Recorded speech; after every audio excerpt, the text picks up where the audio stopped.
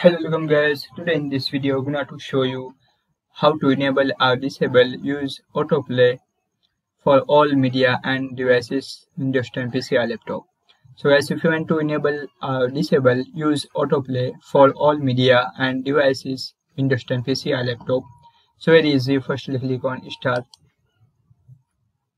click on settings. After click on devices.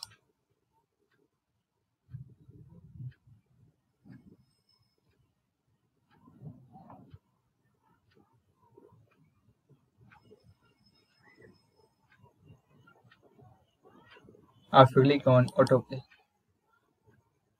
And here option use autoplay for all media and devices. So if you want to disable or turn off.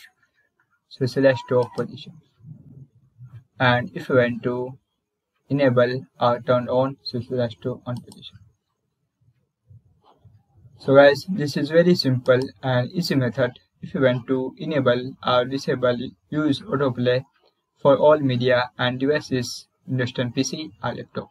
Thank you for watching this video. Please subscribe my channel for latest update.